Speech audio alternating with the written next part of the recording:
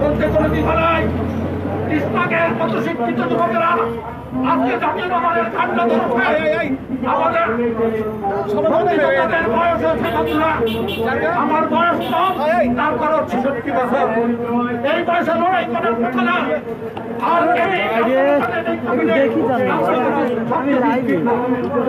তারপরেও যে দেশের জন্য যুদ্ধ করেছি গণতন্ত্রের জন্য যুদ্ধ করেছি সেই গণতন্ত্রের প্রতিষ্ঠার জন্য রাত থেকে জীবন দেওয়ার জন্য আমরা বিশ্বাস করি। আগামী দিনে ঢাকার বিজয় প্রজন্মকে সম্ভাবনা নির্দেশনা তিনি দিয়েছেন আমাদের প্রিয় নেতা আমাদের মুক্তিযুদ্ধের অধিকার কিংবদন্তি মুক্তিযোদ্ধা মরণ সাথে খোকার ছেলে ইঞ্জিনিয়ার ইচ্ছা করতেন আমরা তাকে বলব মুক্তিযুদ্ধের ছাড় জানিয়ে এগিয়ে যাও আমরা মুক্তিযোদ্ধারা তোমার কাছে আছি!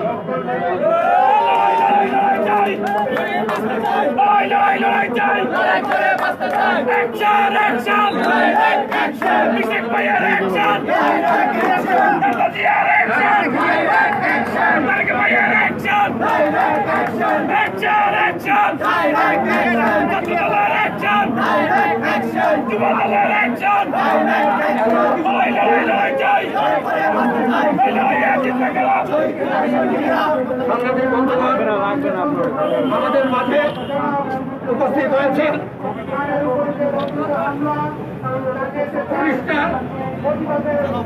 জীবনে সেনাবাহিনীর মেজর ছিলেন অবসর নিয়ে তিনি ডক্টরেট করেছেন। আমাদের প্রিয় ভাই, রাজপথের সাহসী যোদ্ধা আপনাদের আমাদের কাছে সংযুক্ত কাছে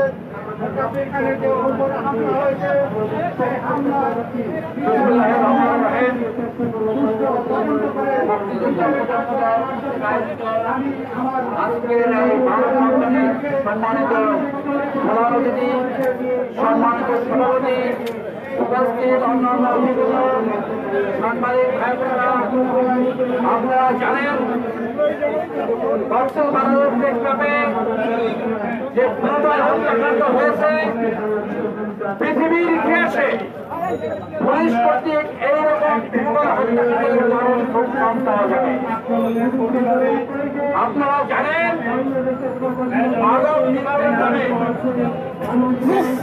মূলত জনগণকে হত্যা করার উদ্দেশ্যে এবং এক এইভাবে হত্যাকাণ্ড চালিয়েছে দুই হাজার আঠারো সাল পর্যন্ত আজকে আপনাদের কাছে একটা প্রশ্ন আমি রাখতে চাই যে সমস্ত নাম আমরা দেখেছি, তার ভিতরে আমরা সব মুসলমানদের নাম দেখেছি অন্য কারও নাম দেখিনি। আমি একজন সুপ্রিম আইনজীবী হিসেবে বলতে চাই পুলিশ কোনোভাবে কোন মানুষকে হত্যা করতে পারে না। যত বড় যত বড় সমুদ্র অপরাধী হোক না কেন, তাকে আইনের নিকট সমুদ্র করতে হবে। মানব নির্মূলের নামে, মানব পাচারের নামে একটা মানুষ হত্যা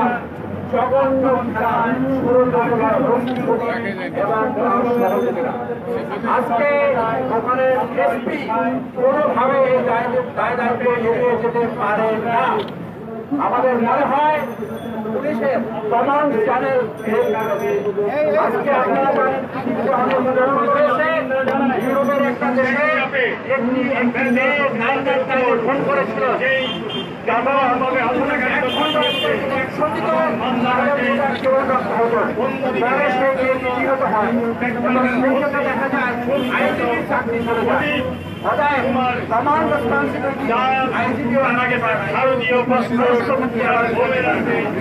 আজকে আমাদের যে ভারত সরকারের মাধ্যমে আমাদের প্রতিবাদ শুরু প্রতিবাদ চলমান থাকবে যতদিন পর্যন্ত বিনা হত্যাকাণ্ড সহ যত বিচার বহির্ভূত হত্যাকাণ্ড হয়েছে সেইটার বিচার নিশ্চিত না হওয়া পর্যন্ত এবং সন্তানরা সকল নাগরিকরা সজাগ থাকবে।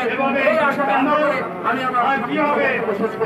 সবাইকে ধন্যবাদ। প্রশাসনের যদি সুযোগ থাকতো ধরনের শিক্ষকের করতো এই এই ধরনের এই কারণে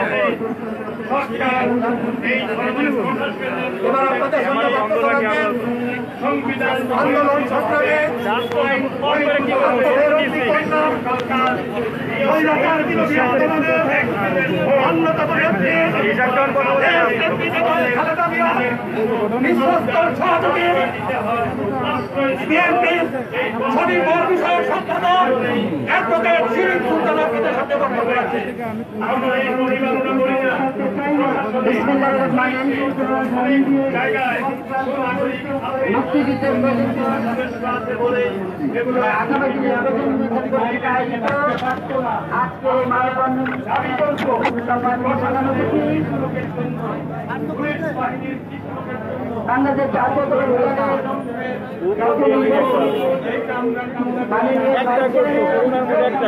সাবেক সাবেক মুক্তিযোদ্ধা যখন এটা জানতে হবে এটা করা ঠিক ছিল। দেখতে দলের নেতৃত্ব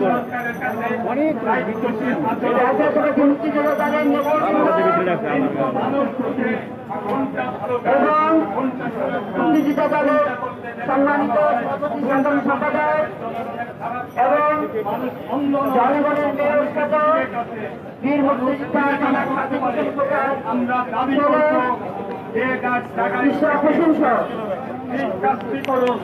দেশের মুক্তিযুদ্ধ প্রজন্মের ভাই জনগণের জন্য কাজ করো। বোনেরা এই কাজ সকলকে করছেন। আমি আমাদের দলের পক্ষ থেকে আমার পক্ষ থেকে আমি কৃতজ্ঞতা প্রকাশ করছি। আজকে এই ধরনের জাতির এই এই নৃশংস হত্যাকাণ্ডের প্রতিবাদে যারা আজকে রাজপথে দাঁড়িয়েছেন সকলকে আমি আমার ব্যক্তিগত পক্ষ কৃতজ্ঞতা প্রকাশ করছি এবং যারা আয়োজন করছেন তাদেরকে কৃতজ্ঞতা প্রকাশ শ্রদ্ধা নিবেদন করছি। প্রিয় সাথী এবং বন্ধুরা, এই বাংলাদেশ দেখার জন্য আজকে যে মুক্তিযোদ্ধারা দাঁড়িয়েছেন যারা জীবনকে বাকি রেখে সেদিন একাত্তরে যুদ্ধ করেছিল এই বর্তমান বাংলাদেশের জন্য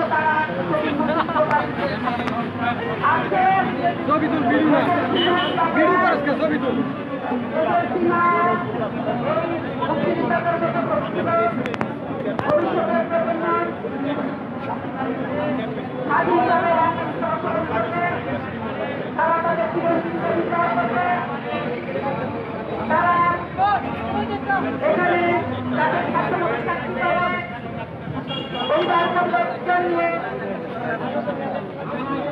স্বাধীনভাবে জীবন নির্বাহ করবে।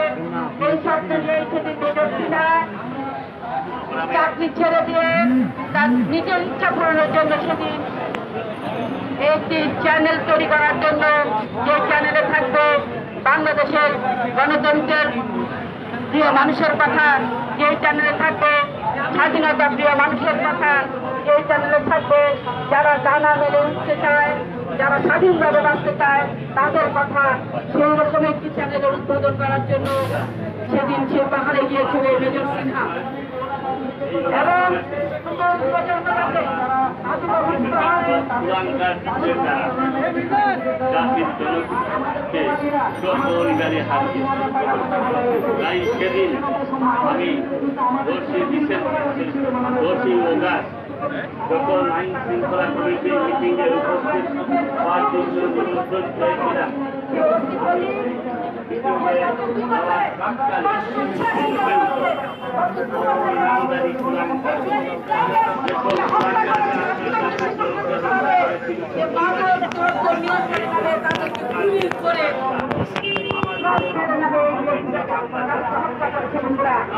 আজকে আমরা বলতে চাই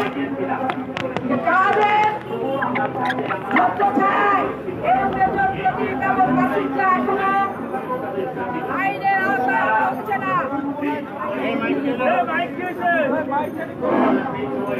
আমরা জানতে চাই, এসপির বিরুদ্ধে সুনির্দিষ্ট অভিযোগ থাকা সত্ত্বেও কেন এখনও এসপি মাসুদকে আওতায় আনা হচ্ছে না?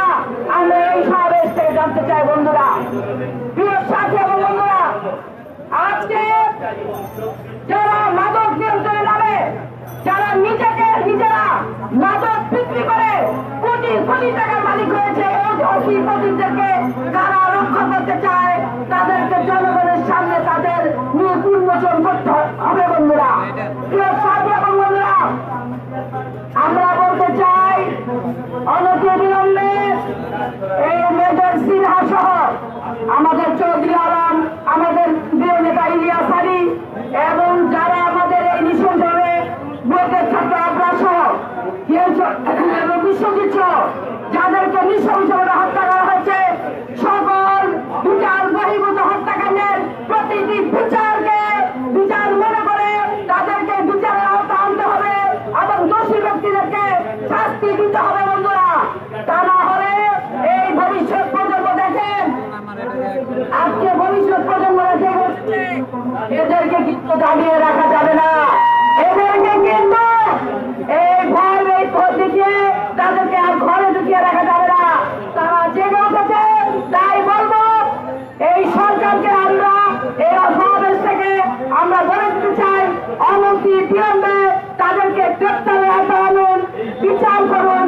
ইনশাল্লাহ আমরা যে বাংলাদেশ জাতীয়তাবাদী দল আমরা রাজপথে আছি থাকব এবং বিচার সুষ্ঠুভাবে সুপ্রদ না হওয়া পর্যন্ত এই মুক্তিযুদ্ধের প্রজন্মদেরকে নিয়ে আমরা রাজপথে থাকব এই আশাবাদ ব্যক্ত করে সবাইকে আমি ধন্যবাদ শিরিন সুলতানাকে। এবার আপনাদের সামনে বক্তব্য রাখবেন উনিশশো একাত্তর সালে পাকিস্তান থেকে পালিয়ে এসে তিনি মুক্তিযুদ্ধে সক্রিয় অংশগ্রহণ করেছিলেন। শহীদ রাষ্ট্রপতি জিয়াউর রহমানের সাথে যিনি দীর্ঘদিন সেনাবাহিনীতে চাকরি করেছিলেন। আজকে বিএনপির নির্বাহী কমিটির মুক্তিযোদ্ধা বিষয়ক সম্পাদক হিসাবে রাজপথের প্রতিটি আন্দোলন সংগ্রামে আমরা যাদের কাছে পাই, সেই বীর মুক্তিযোদ্ধা লেফটেন্যান্ট কর্নেল অবসরপ্রাপ্ত জয়নুল আবেদিন এবার আপনাদের সামনে বক্তব্য রাখছেন।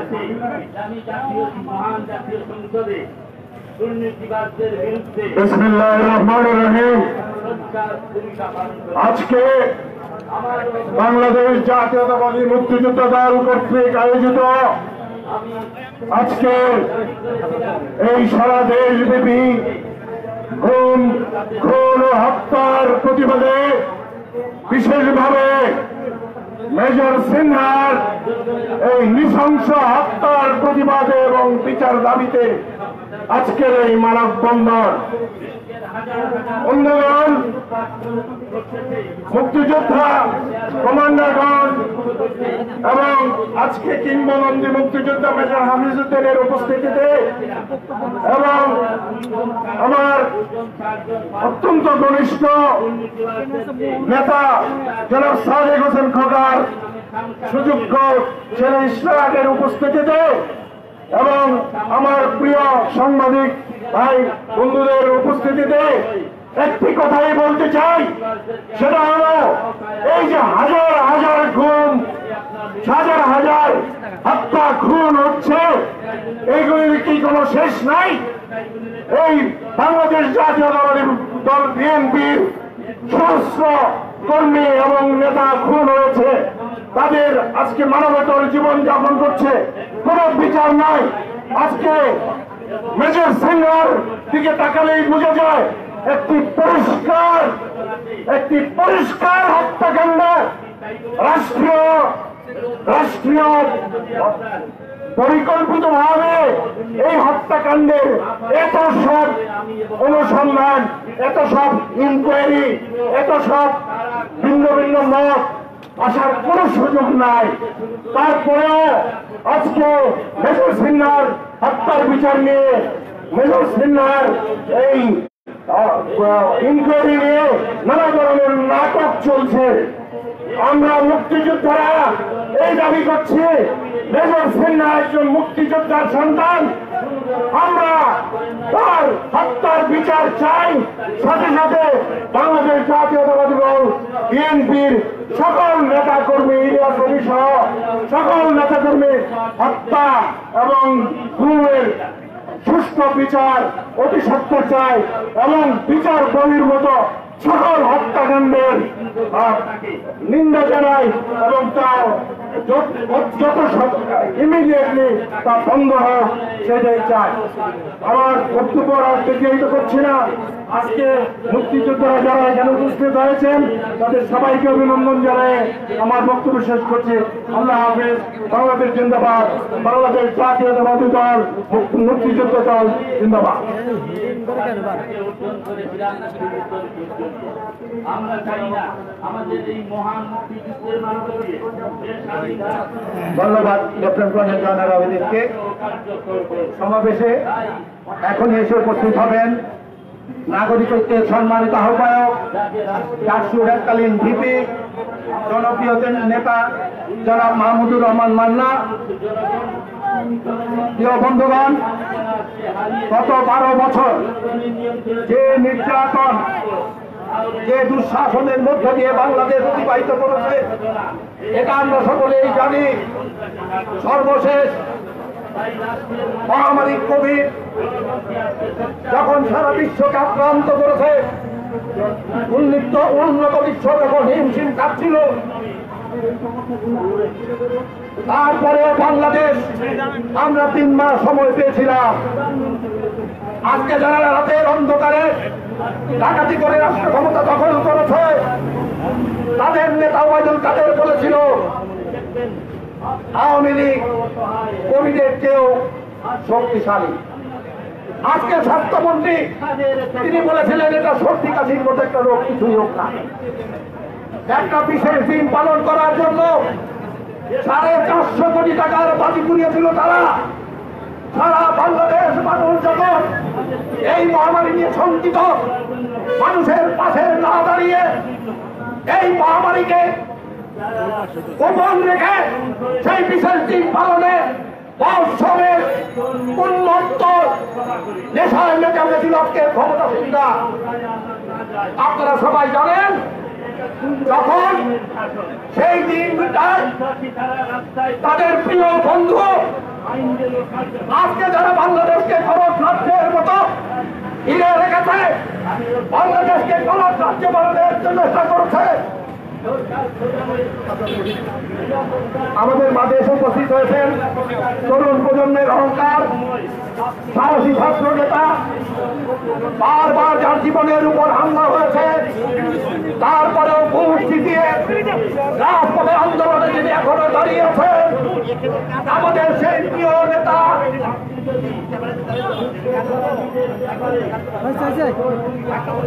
নির্বাচিত ভিপি নুরুল হক নূর আজকে আমাদের মাঝে উপস্থিত হয়েছেন। আমরা সত্তর বছরের মুক্তিযোদ্ধারাও সাহসের সাথে প্রত্যয়ের সাথে বলতে চাই। নূর ইসলাম তোমরা এগিয়ে যাও। তোমাদের দিকে তাকিয়ে আছে বাংলাদেশের ভবিষ্যৎ।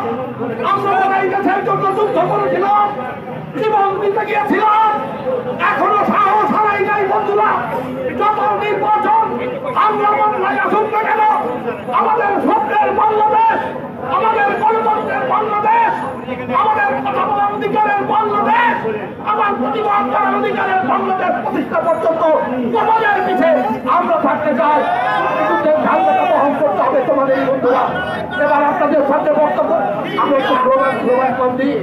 আপনাদের সামনে বক্তব্য রাখেন এই প্রজন্মের অহংকার বারো থেকে তেরো বার তাকে হত্যা করার জন্য আক্রমণ করা হয়েছে নির্যাতন করা হয়েছে।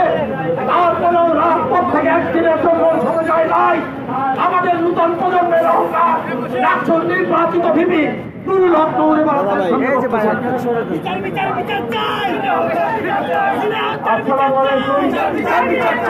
আজকে এই প্রোগ্রামে উপস্থিত সবাইকে আমার আন্তরিক এবং শুভেচ্ছা জানাচ্ছি।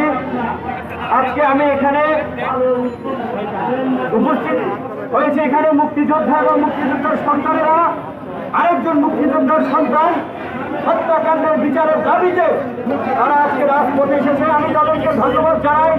আমি তো আক্ষেপ প্রকাশ করেছিলাম যে আজকে মেজর সিনহা একজন মুক্তিযোদ্ধার সন্তান, অথচ এই মেজর সিনহা হত্যাকাণ্ড নিয়ে মুক্তিযোদ্ধাদের অনেক সংগঠন আছে, তারা কেউ কিন্তু ওইভাবে কথা বলেনি।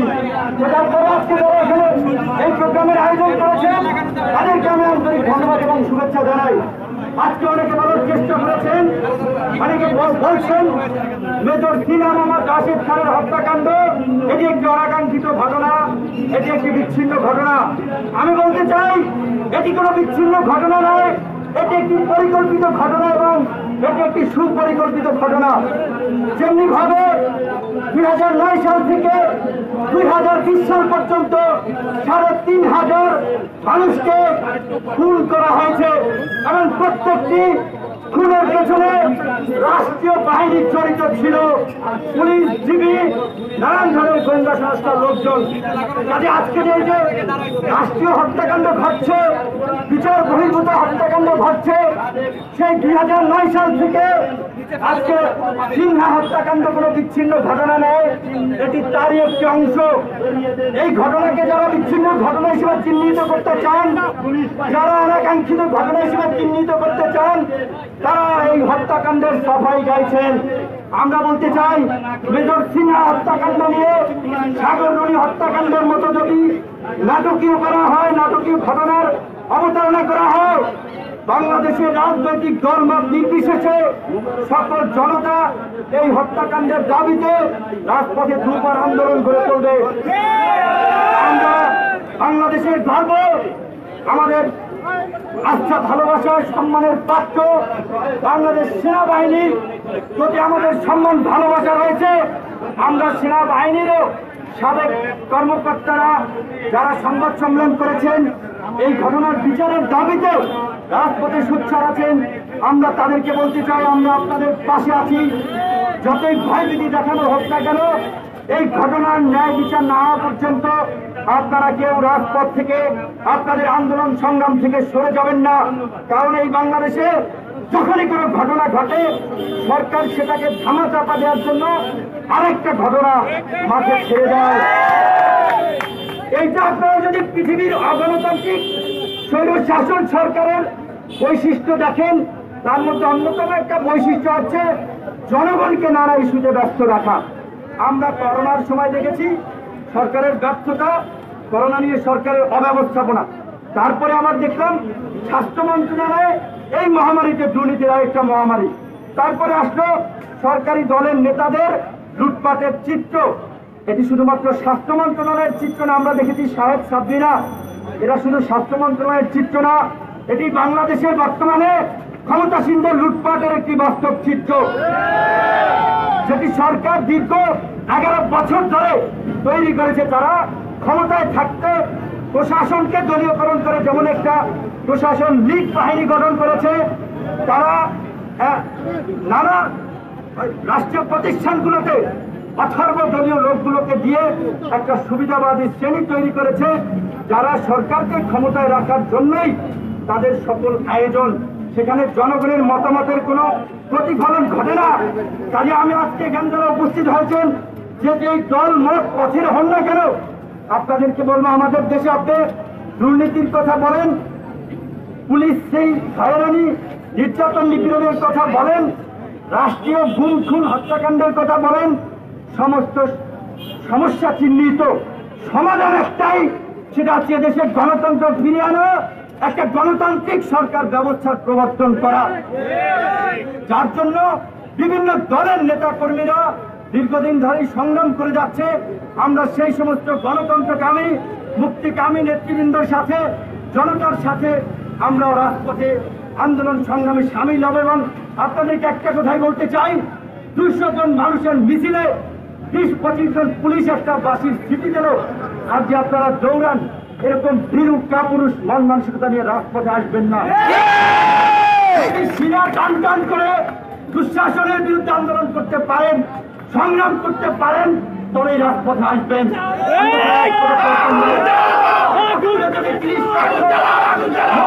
তাদের জীবন না দুই লক্ষ মারণ তাহলে আমরা একটা স্বাধীন ভূখণ্ড পেতাম না। বাংলার ভাষা আন্দোলনে যদি কারণ শহীদ কবির জীবন না দিত আমরা বাংলা ভাষাকে পেতাম না। নব্বই স্বৈরাচার বিরোধী আন্দোলনে যদি নূর হোসেনরা জীবন উৎসর্গ না করতো, আমরা গণতন্ত্র ফিরে পেতাম না।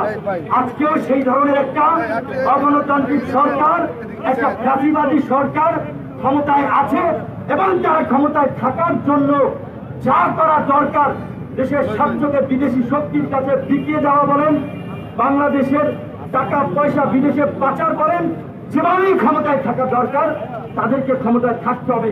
আপনারা দেখেছেন, এখানে অনেকে বলেছেন যে ডাকসুর বিপি নির্বাচিত হয়েও ক্ষমতাসীন দলের গুন্ডাদের হাতে, রাষ্ট্রীয় সন্ত্রাসীদের হাতে অসংখ্য বার হামলা মামলায় রক্তাক্ত হয়েছি।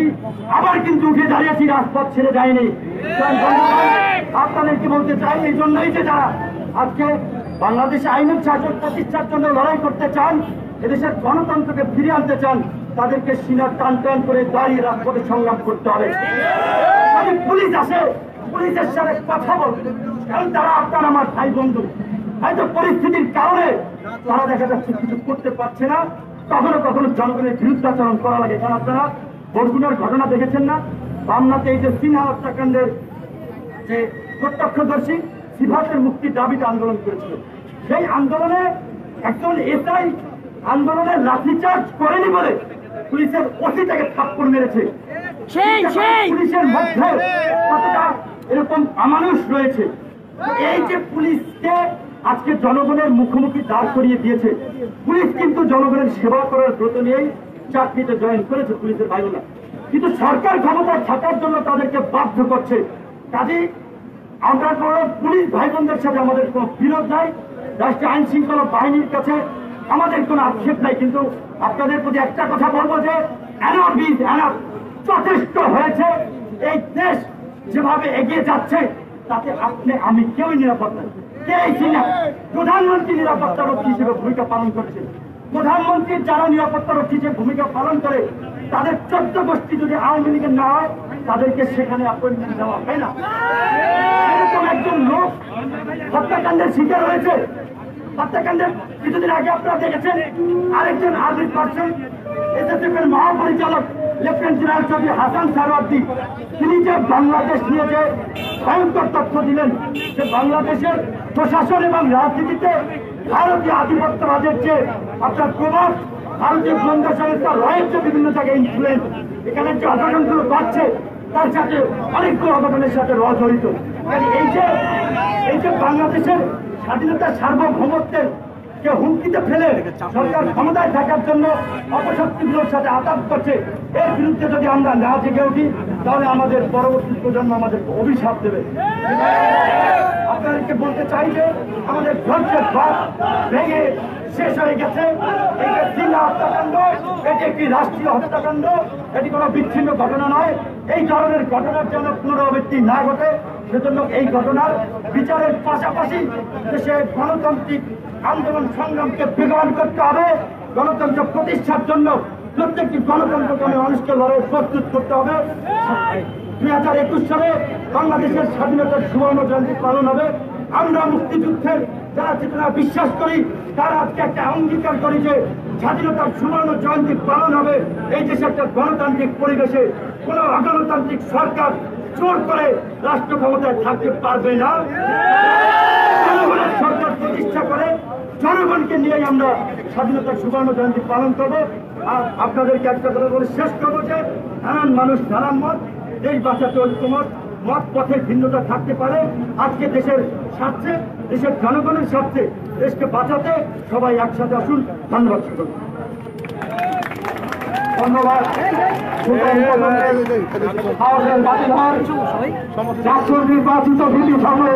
সন্তান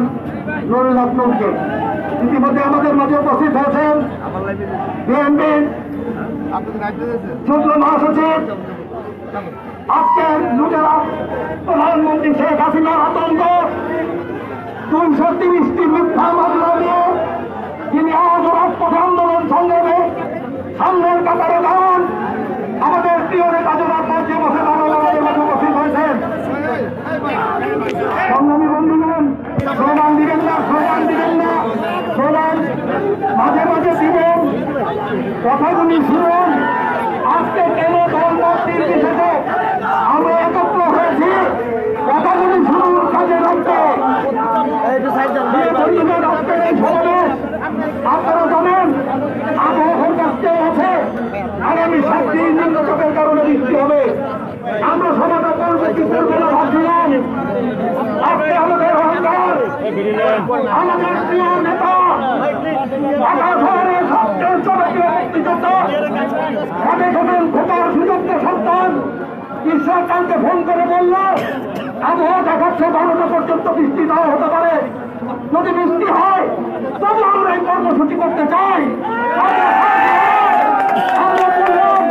আমরা পঞ্চাশ জন মুক্তিযোদ্ধা হলেও ছাতি নিয়ে হলেও এই সমাবেশ করব।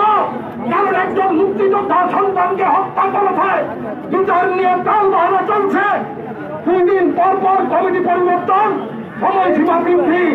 আজকে যারা এটা করছেন, তাদেরকে বলতে চাই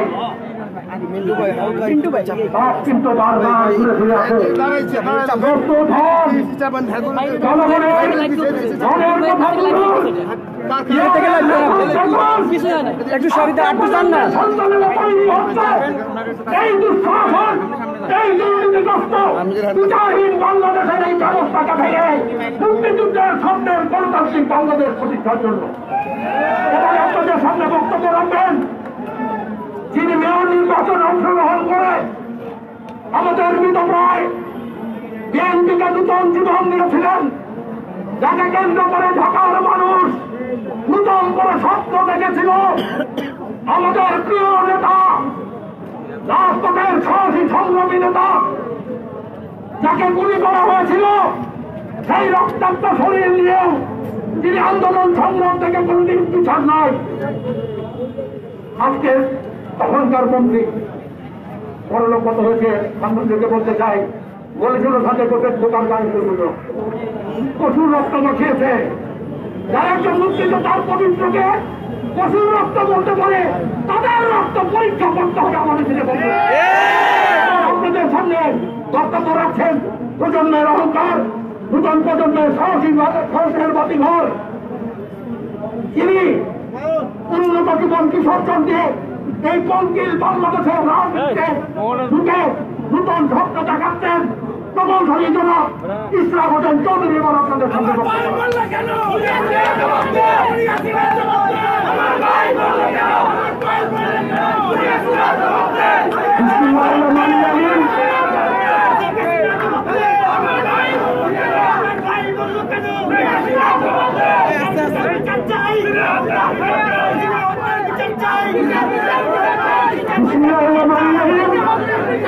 আজকে প্রেস ক্লাবের সামনে আগত সকল গণতান্ত্রিককামী এবং মুক্তিকামী জনতা এবং আমাদের সাথে উপস্থিত বীর মুক্তিযোদ্ধা এবং সিনিয়র নেতৃবৃন্দ, সবাইকে আসসালামু আলাইকুম। ভাইরা আমরা আজকে এখানে সমবেত হয়েছি। আপনারা জানেন যে কিছুদিন আগে একজন অবসরপ্রাপ্ত সেনা কর্মকর্তা মেজর সিরা মাত্র ছত্রিশ বছর বয়স্ক একজন যুবক, তাকে বুকে নিরস্ত্র অবস্থায় বুকে গুলি চালিয়ে তাকে হত্যা করা হয়েছে। ভাইরা এটা কি আমরা প্রথম দেখতে পেয়েছি এই বাংলাদেশে।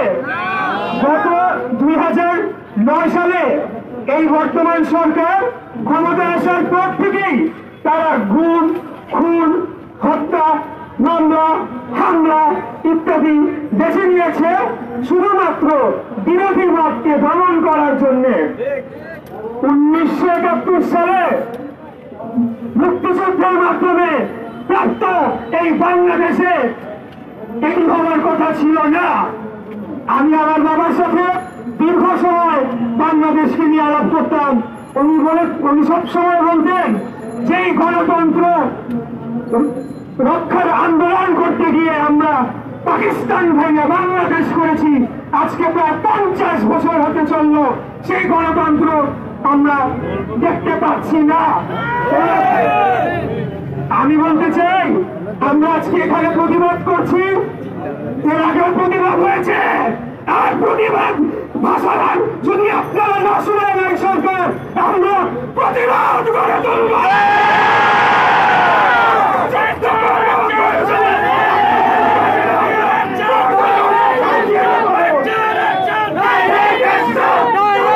সম্পত্তি নয় এটা কারও মালিকানা নয় কারও দলীয় সম্পত্তি না এই দেশের সকল নাগরিকের সমান অধিকার সকল নাগরিকের বেঁচে থাকার সমান অধিকার রয়েছে।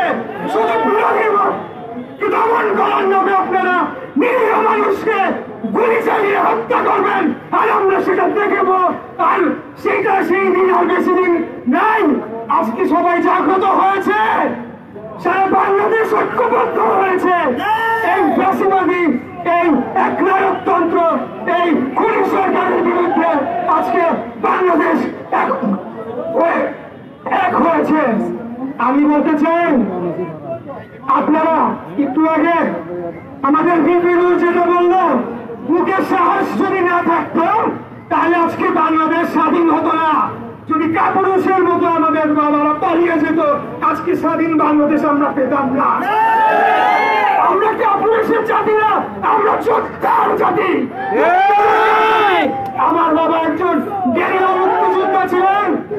এই ঢাকার মাটিতে উনি যুদ্ধ করেছিলেন এবং তৎকালীন সময় নির্বাচন কমিশন ভবন সহ, বিএসপি ভবন সহ বিভিন্ন স্থাপনা উনি সেখানে অপারেশন চালিয়ে সেগুলোকে ধ্বংস করেছিলেন। আমি সেই বাবার সন্তান আমি আপনাদের সামনে প্রতিজ্ঞা করছি আমার শেষ রক্তপিণ্ড পর্যন্ত আপনাদের অধিকার পুনঃপ্রতিষ্ঠা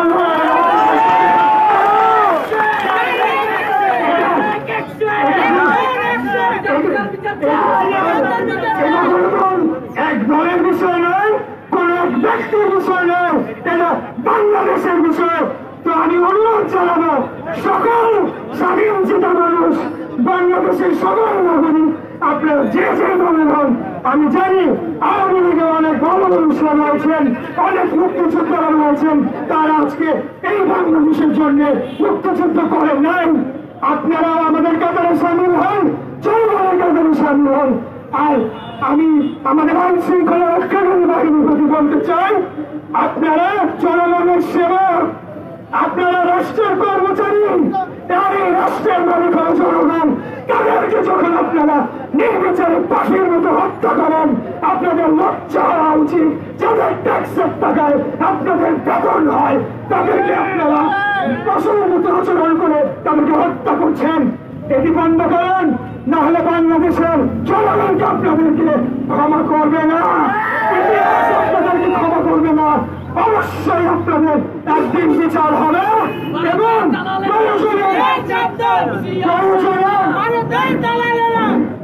আমরা এই প্রেস ক্লাবের সামনে গণ আদালত বসাবো জনতা আদালত বসাবো, জনগণের সামনে এই সব খুনি ওসি প্রদীপ সহ অন্যান্য যারা বিচার বহির্ভূত হত্যাকাণ্ড করেছেন।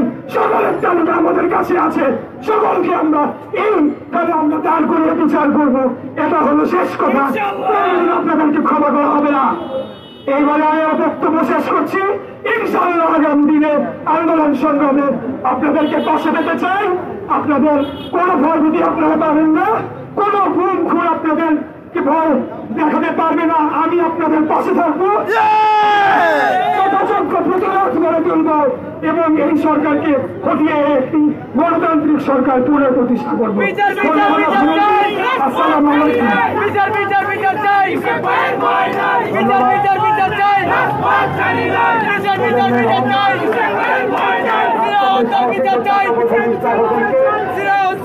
চাই।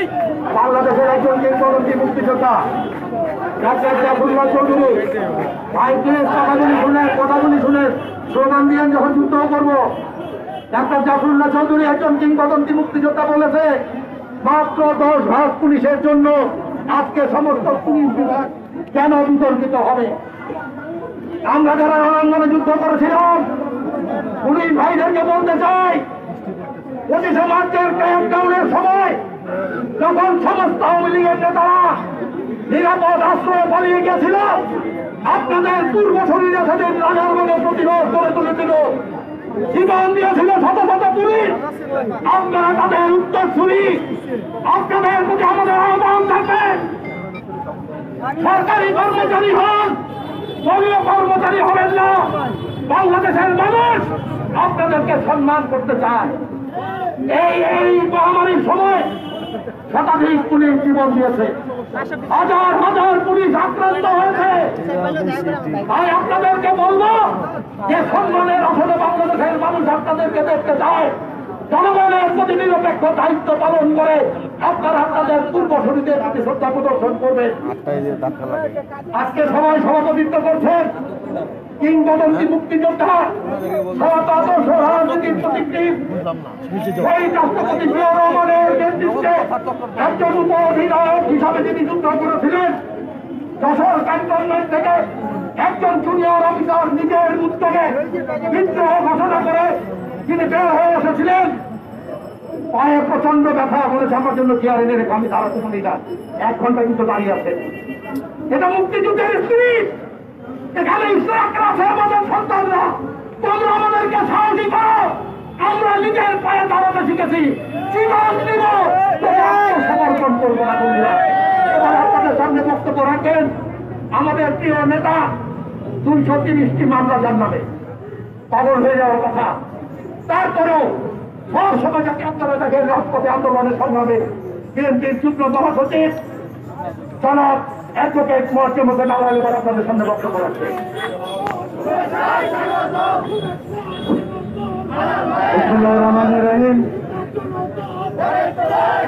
আমাদের স্নেহপ্রদ সভাপতি, ঢাকা সিটি কর্পোরেশনের নির্বাচিত মেয়র, রণাঙ্গনের বীর মুক্তিযোদ্ধা।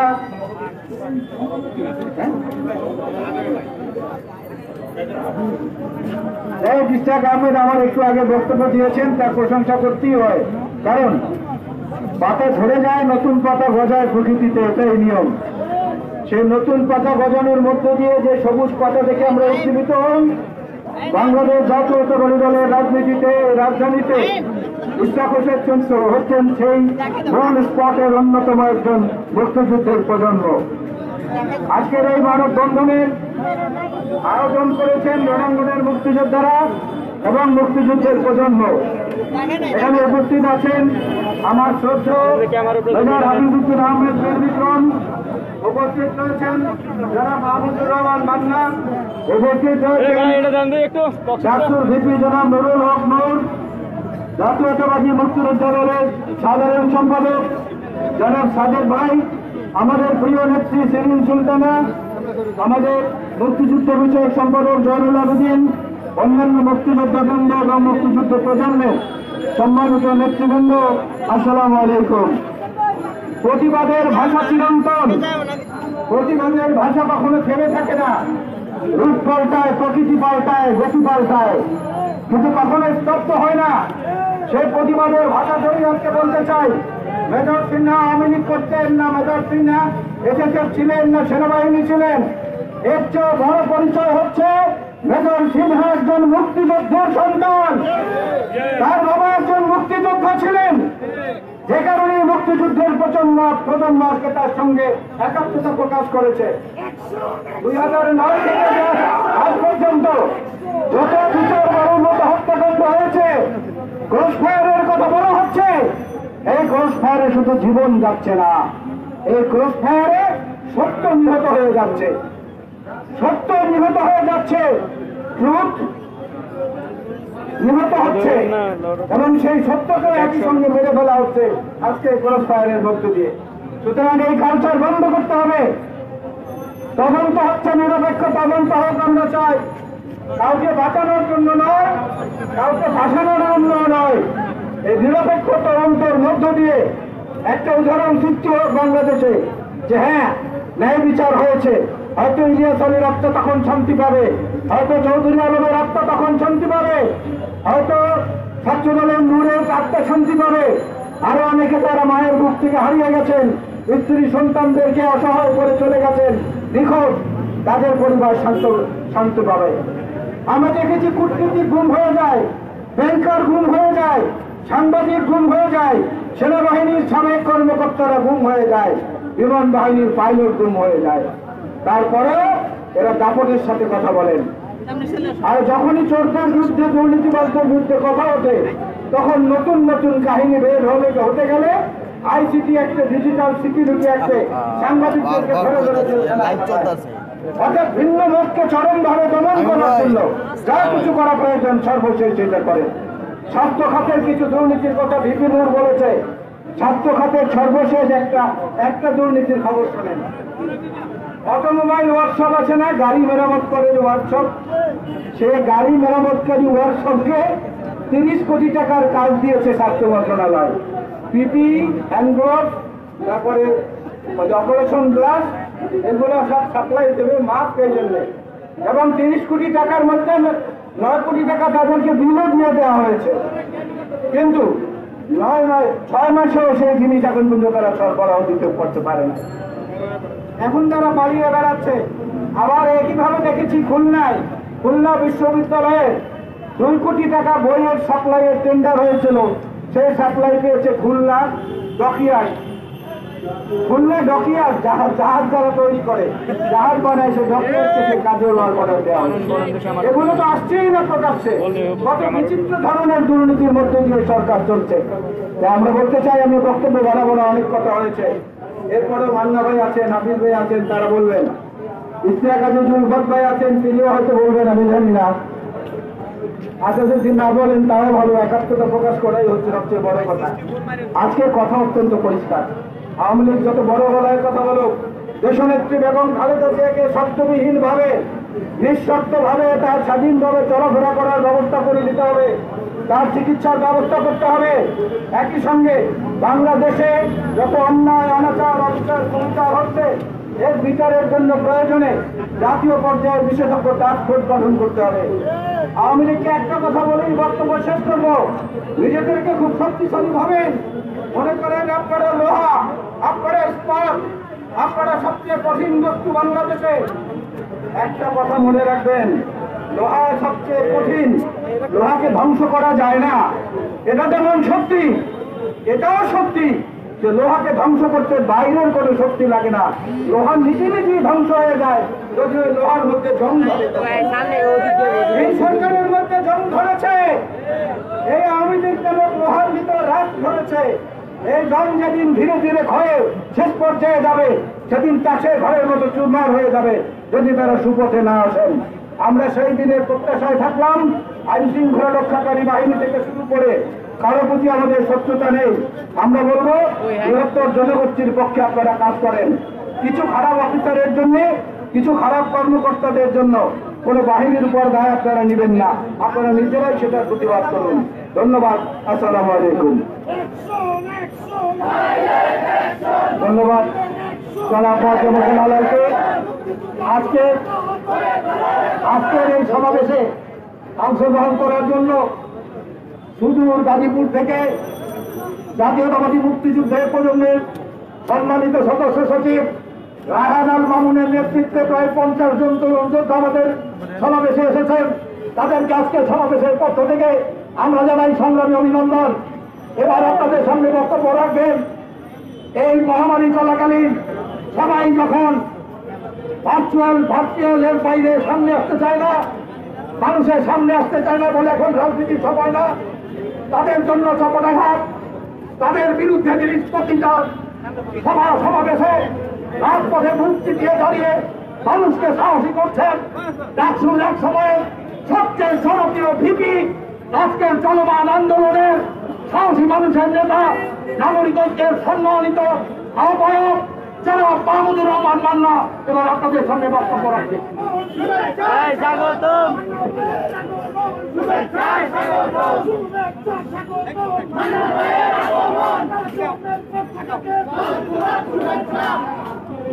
জনাব সভাপতি সম্মানিত নেতৃবৃন্দ সমবেত সাথীরা বন্ধুরা আলাইকুম। বক্তব্যের শুরুতেই আমি আজকে এই মানববন্ধনে যারা আয়োজন করেছেন তাদেরকে আন্তরিক ধন্যবাদ জানাচ্ছি। বিশেষভাবে ধন্যবাদ জানাচ্ছি ইসলামকে ইঞ্জিনিয়ার ইসলামকে এবং তার সঙ্গে বিপিনকে এই দুইজন মানুষকে দেখার পরে আমার ওই কবিতার পঙ্ক্তি করে পড়ল। বারে বারে ঘুঘু তুমি খেয়ে যাও ধান। এইবার ঘুঘু তোমার দুইশো চারটা মানুষকে এক বছরে হত্যা করেছে। ওই কক্সবাজারের মেইন ড্রাইভের গাইডে পাই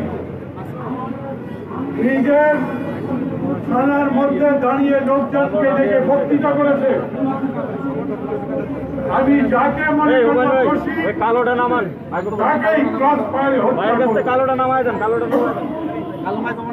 কোন অন্যায়কে কোন অন্যায় ভাবে কাউকে মারলে আমাকে বলবেন কিন্তু একটার পর একটা মানুষ যখন হত্যা করছে তখন তার মনে হয়েছে যতগুলো মানুষই মারি আমাকে কেউ কিছু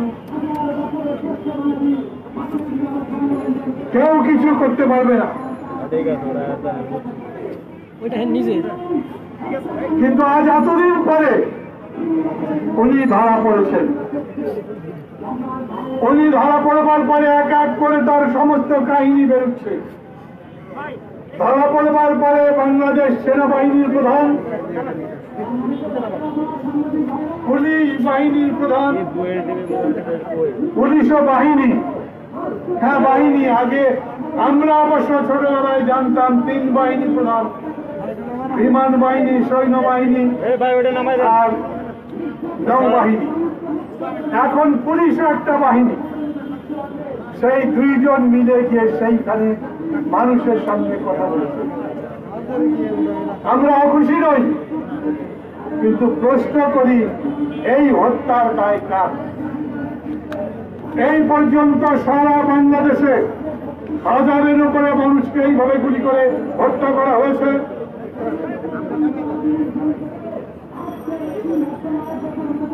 এই পর্যন্ত হাজারো মানুষ গুম হয়ে আছে। এই প্রেস ক্লাবে আমি মায়ের ডাকের অনুষ্ঠানে বহুবার আসছি। মায়েরা কানতে কানতে প্রধানমন্ত্রীর কাছে বলেছেন, প্রধানমন্ত্রী, মানুষ, আপন মানুষ হারাবার কথা আপনি জানেন।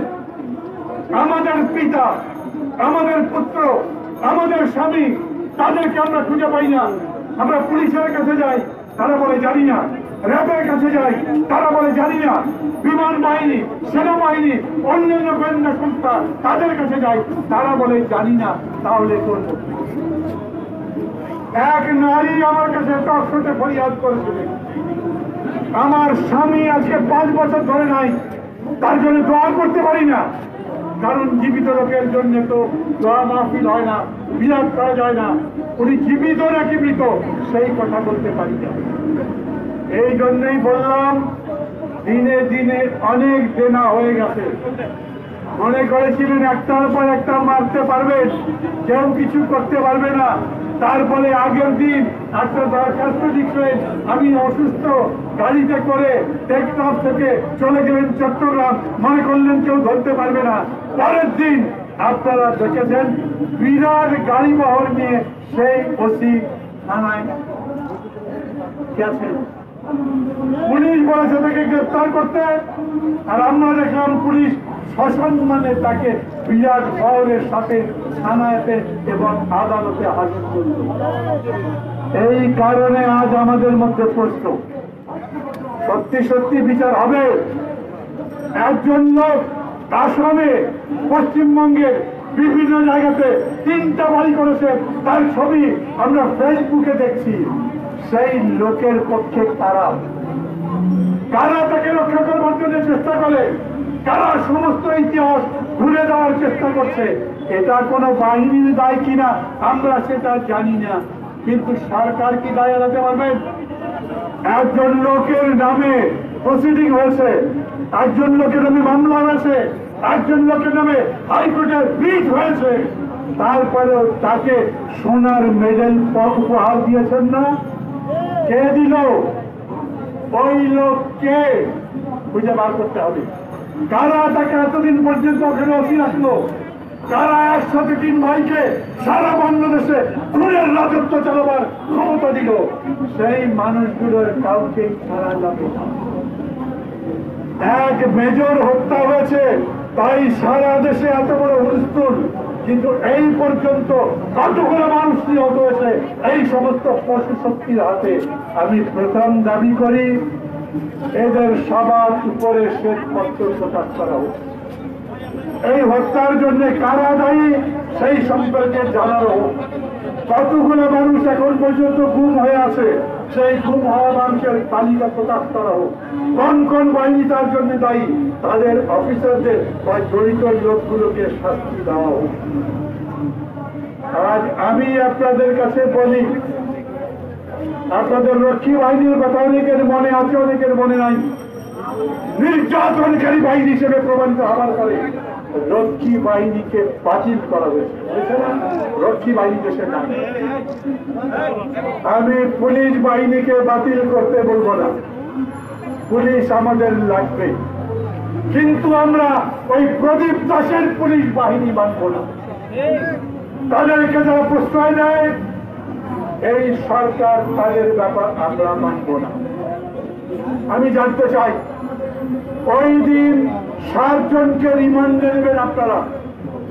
দুইজনকে রিমান্ডে নেওয়া হলো না কেন? কার নির্দেশে? যিনি নির্দেশ দিয়েছেন তার ইতিহাস, তার আত্মপান্ত জানতে চাই এবং তাকেও আদালতের সামনে আনা হোক, এটা আমাদের এই প্রেক্ষিতেই আমি বলতে চাই, প্রশ্ন উঠেছে, কালকে এক টক শোতে আমাকে জিজ্ঞেস করছে আপনি কি মনে করেন এই বিচার যথাযথ হবে? আমি আপনাদের কাছে জিজ্ঞেস করি যথাযথ ভাবে এই হত্যার বিচার হবে? না কেন বলেন? বিচার হবে। বিচার হতে হবে। বিচার যদি তারা না করে তার ইসলাম যে কথা বলেছে, আমরা বিচার করব। দরকার লাগলে এই প্রেস ক্লাবের সামনে কোন আদালত বসবে। এবং বিচার হবে। বিচার তো ওরা করবে না। কারণ এই পুলিশকে দিয়ে দুই বছর আগে ভোটের নামে আগের রাত্রে সব ব্যালট কেটেছে না এই পুলিশকে ঘুষ দিয়েছে না এই পুলিশকে রাত্রেবেলা বিরিয়ানি খাইয়েছে না পুলিশের কি?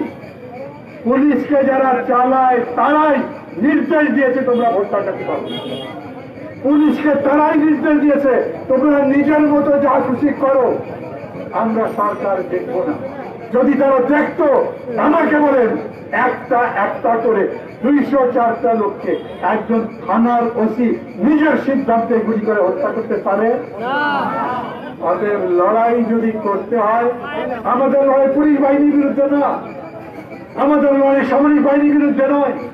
আমাদের লড়াই কোন বাহিনীর বিরুদ্ধে নয়, আমাদের লড়াই এই সবগুলো বাহিনীকে যারা দুর্বৃত্তায়িত করেছে, সবগুলো বাহিনীকে যারা যারা খুন করিয়েছে, যারা জনগণের উপর অত্যাচার করেছে, সেই সরকার, সেই সরকারে বসে আছে যে দল, তাদের ব্যাপারে আমাদের লড়াই তাদের বিরুদ্ধে, ওরা জনগণের অধিকার আজ থেকে হরণ করছে না। গত বারো বছর ধরে অবৈধভাবে তারা এই দেশের ক্ষমতা দখল করে আছে এখন মানুষের সামনে নতুন নতুন কাহিনী বার করছে।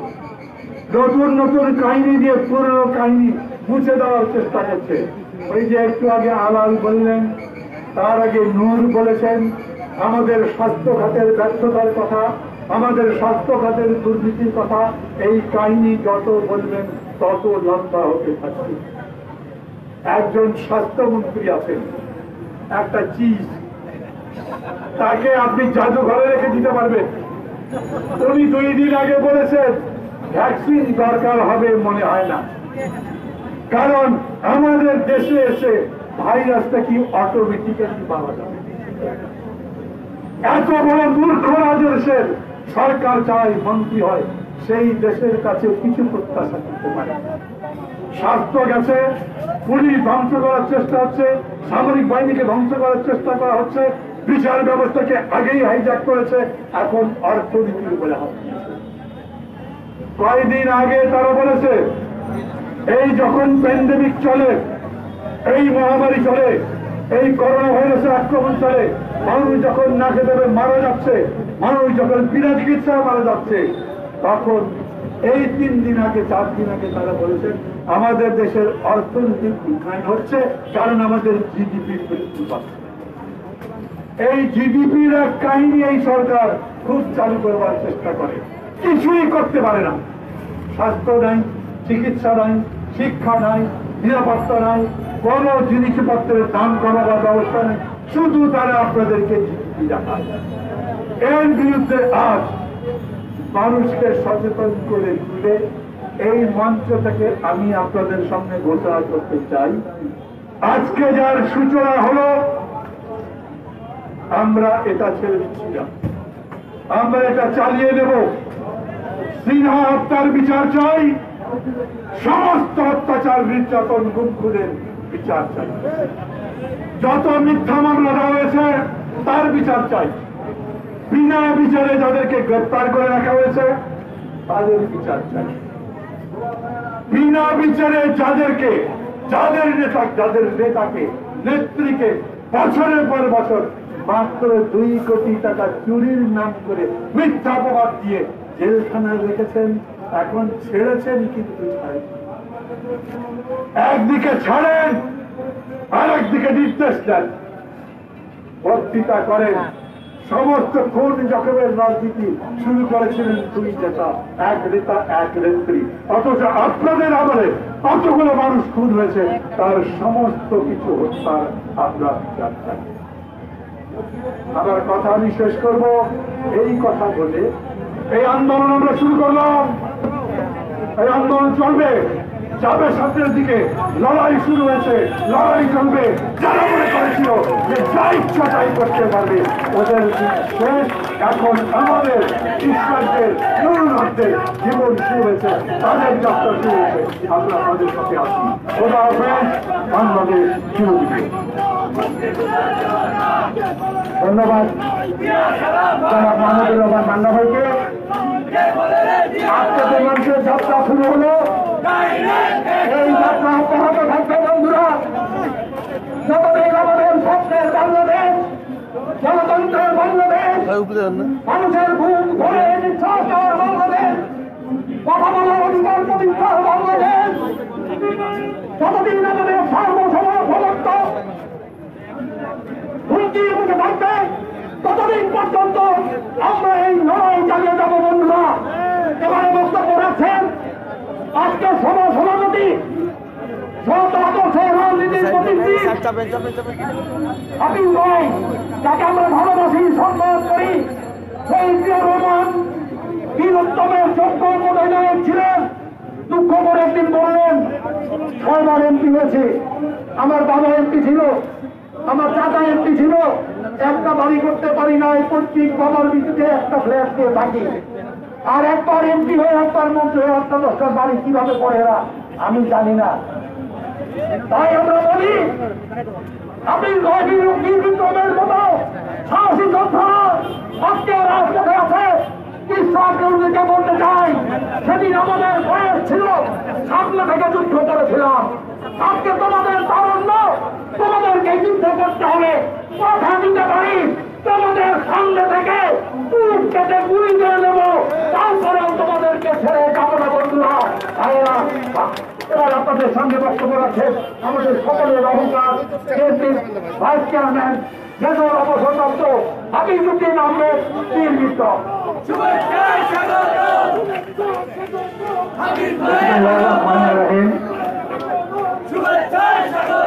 বিক্র আজকে মানববন্ধনে উপস্থিত জাতীয় নেতৃবৃন্দ, মুক্তিযুদ্ধের প্রজন্ম, রণাঙ্গনের মুক্তিযোদ্ধা বৃন্দ উপস্থিত শুধুমন্ডলী আসসালাম আলাইকুম।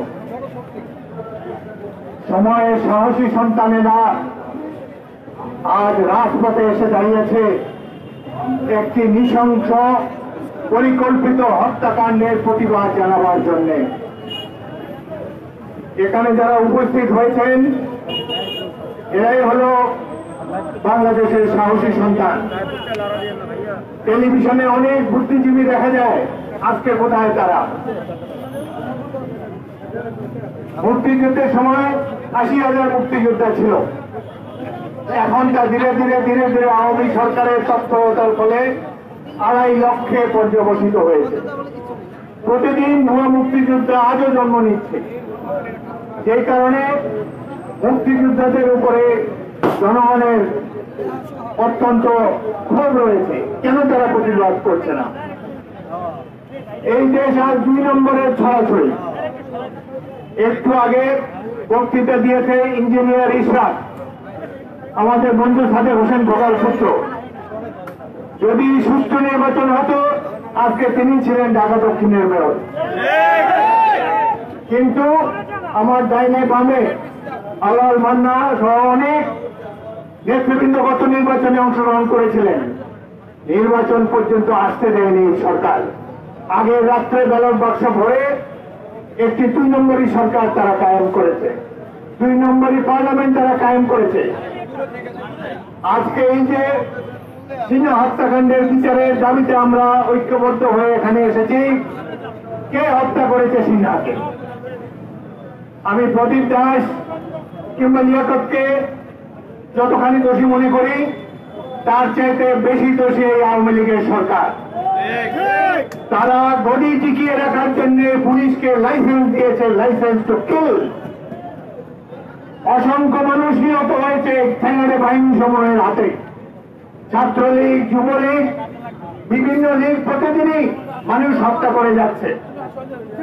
নারীরা সম্ভ্রম রক্ষা করতে পারছে না। বাসে চললে স্কুলে যাওয়ার পথে সর্বত্র তারা নির্যাতিত হচ্ছেন। তারা করছে প্রতিটি অপকর্মের পিছনে একজন আওয়ামী লীগের পাবেন। আজকে এই যে সিংহ হত্যাকাণ্ড, আমরা অপেক্ষা করে দেখব। এটির আমরা কোনো রাজনীতিকরণ করতে চাই না। আমরা আশা করব প্রধানমন্ত্রী যে কথা বলেছেন এটি সুষ্ঠু বিচার হবে। যদি সুষ্ঠু বিচার না হয়, আমরা প্রধানমন্ত্রীকেই দায়ী করব। তার অঙ্গুলি হেলনের কারণে সিনহার পরিবার এই বিচারটি পায়নি। আমরা অপেক্ষা করে রইলাম। এই বাংলাদেশ থাকবে, এই রাজপথ থাকবে। আজকের পরিস্থিতি উনিশশো একাত্তর সালের মার্চ মাসের পরিস্থিতি। গণতন্ত্রের গণধ্বনি আমরা শুনতে পাচ্ছি। সবকিছু সীমা ছাড়িয়ে গিয়েছে। দেশ রক্ষা করার দায়িত্ব সামরিক বাহিনীর দেশ রক্ষা করবে কি তারা নিজেদেরকেই রক্ষা করতে পারছে না। পুলিশ বাহিনীর দায়িত্ব, পুলিশ বাহিনীর দায়িত্ব জনগণকে রক্ষা করার। আজকে নিরীহ জনগণকে প্রতিদিন তারা গুলি করে মারছে। মহিলাদেরকে বাড়ি থেকে ধরে নিয়ে এসে থানায় নির্যাতন করা হচ্ছে। শুধুমাত্র একজন অবসরপ্রাপ্ত মেজরকে হত্যা করার কারণে এই দেশে আলোড়ন সৃষ্টি হয়েছে। কিন্তু এই চিত্র, এই প্রতিচ্ছবি তো সারা বাংলাদেশের প্রতিচ্ছবি। প্রত্যেকটি থানায় যান, পুলিশ কর্মকর্তারা একই ধরনের কার্যক্রম পরিচালনা করছে। যেহেতু তারা অতটা শক্তিশালী নয় গোষ্ঠীগত ঐক্যবদ্ধ শক্তি তাদের পিছনে নাই। এই কারণে হয়তো এটি জাতীয় টেলিভিশন মিডিয়াতে এটি প্রচার পাচ্ছে না। কিন্তু বলতে দিলে নাই, বাংলাদেশ আজ ফ্রান্সের শেষ প্রান্তে এসে দাঁড়িয়েছে।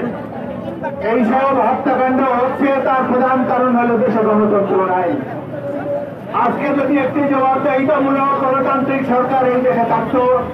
সিনাকেও মরতে হতো না ইনাস আলীকে মরতে হতো না। কাউকে মরতে হতো না। এই যে অসংখ্য তরু হত্যা তকি হত্যা প্রত্যেক দিন পত্রিকা খুলে।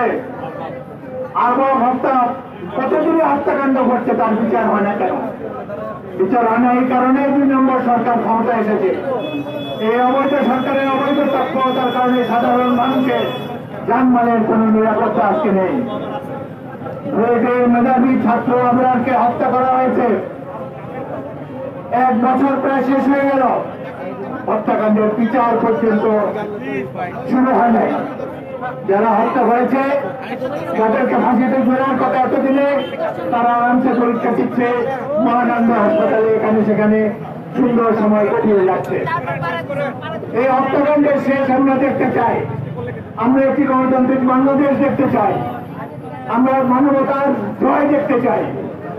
আজকে সাধারণ মানুষের কোনো অধিকার নাই। ভয় সংস্কৃতি আমাদের সবাইকে গ্রাস করেছে। পুলিশ বাহিনী আজকে অত্যাচারের প্রতীক হয়েছে। অথচ এরাই রাজারবাগে একাত্তর সালে বীর বিক্রমে যুদ্ধ করেছিল। পুলিশ বাহিনীর অনেক সদস্য এখানে রয়েছে। তাদের প্রতি অনুরোধ রইল, আপনারা আপনাদের খুনি খুনি সহকর্মীদের প্রতি কোন ধরনের সহমর্মিতা প্রকাশ করবেন না। আপনারা বাংলাদেশের সন্তান এই বাংলাদেশ চিরদিন স্বাধীন থাকবে। বাংলাদেশের মাটিও মানুষ থাকবে। কিন্তু আপনারা ঘৃণিত হবেন না। প্রত্যেকটি হত্যাকাণ্ডের বিচার অবশ্যই বাংলাদেশের মাটিতে হবে। ইনশাআল্লাহ এই হত্যাকাণ্ড করে কেউ পার পেতে যাবে না। আমাদের যথেষ্ট বয়স হয়েছে। আজকে এখানে ছাত্রদের নেতা নূর এসেছে, যুবকদের নেতা ইশরাক এসেছে, মহিলাদের নেতা শিরিন সুলতানা এসেছে। আমরা যারা বয়স্ক, আমরা যথেষ্ট এই দেশের জন্য উনিশশো একাত্তর সালে জীবন বিসর্জন দিতে গিয়েছি। আমরা চেয়েছিলাম একাত্তরের মুক্তিযোদ্ধাদের মশালটি পরবর্তী প্রজন্মের কাছে হস্তান্তর করার জন্য। আজকে আমরা তার লক্ষণ দেখতে পেয়ে আমরা অত্যন্ত আনন্দিত হয়েছি।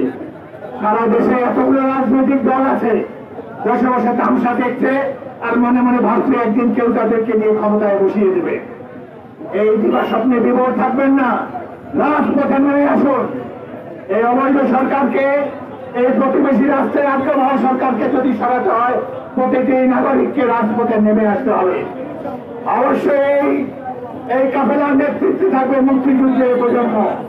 মুক্তিযুদ্ধ যারা আমরা জীবিত আছি, আমরাও রাজপথে থাকব। সুতরাং আপনাদের কাছে অনুরোধ রইল, আপনারা এই হত্যাকাণ্ড থেকে পর্যবেক্ষণ করবেন। এই সরকার হত্যাকাণ্ডের জন্য কি করে? দেখার জন্য ষোলো কোটি মানুষ ষোলো কোটি মানুষ বিরুদ্ধ রজনী অতিবাহিত করছে। একটি তদন্ত কমিটি করা হয়েছে, তদন্ত শুরু হওয়ার আগেই। তদন্ত শুরু করার আগেই তদন্ত কর্মকর্তা পরিবর্তন করা হয়েছে। কেন? এগুলো তো রং সিগন্যাল দিচ্ছে। অনেক হত্যা করেছেন, অনেক অপকর্ম করেছেন, গণতন্ত্রকে হত্যা করেছেন, মানবতাকে হত্যা করেছেন। আওয়ামী লীগের সরকার আপনাদের সময় ঘনিয়ে এসেছে। দেয়ালে যখন করার চেষ্টা করুন ইনশাল্লাহ আমরা রাজপথে নামবো। এই যে কোভিডকে উপেক্ষা করেই নামবো, আমরা জানি এই ভয়ঙ্কর মহামারী থেকে সরকার আমাদের রক্ষা করতে পারবে না। রক্ষা করা মানে আল্লাহ রব্বুল আলমিন। তিনি আমাদেরকে রক্ষা করেছেন, ভবিষ্যতেও করবেন। এরা বলে এরা নাকি উন্নয়নের রোল মডেল সামান্য ডাক্তারদের একটা প্রোটেক্টিভ কিট দিতে পারে না। একটা ভেন্টিলেটর নেই আইসিইউ নাই। প্রধান যে স্বাস্থ্য অধিদপ্তরের প্রধান, এতগুলো হাসপাতাল চিকিৎসা নিতে গিয়েছেন সামরিক হাসপাতালে। এতগুলো হাসপাতালের উপরে তার কোনো বিশ্বাস নাই, তিনি জানেন ডাক্তার নকল ওষুধ নকল সব কিছুই দুই নম্বর। আজকের এই দিনে আপনারা উপস্থিত হয়েছেন, আপনাদেরকে আমরা আশ্বস্ত করতে চাই চিহ্ন হত্যার প্রতিবাদে, প্রতিবাদ প্রতিরোধ চলবে। যদি এই সরকার বিচার না করে জনতার আদালতে ইনশাল্লাহ তাদেরকে আমরা বিচার করব। একটা করুন সারা বিশ্ব দেখবে এই হত্যাকারী দুর্নীতিবাদ অবৈধ সরকারের কি পরিণতি হয় সেটা সারা বিশ্বের মানুষ দেখবে। আজকের এই দিনে আপনাদের সবাইকে শুভেচ্ছা জানাই ধন্যবাদ জানাই। এখানে যারা উপস্থিত হয়ে আমাদের সাথে সহমর্মিতা জানিয়েছেন আপনাদের জন্য রইল অসংখ্য শুভেচ্ছা। আল্লাহ হাফেজ ধন্যবাদ ধন্যবাদ। সভাপতির অনুমতি নিয়ে আজকে সভা আমরা এখানে সমাপ্ত ঘোষণা করেছি। করছি মুক্তিযুদ্ধের অগ্নি মশাল বহন করবে।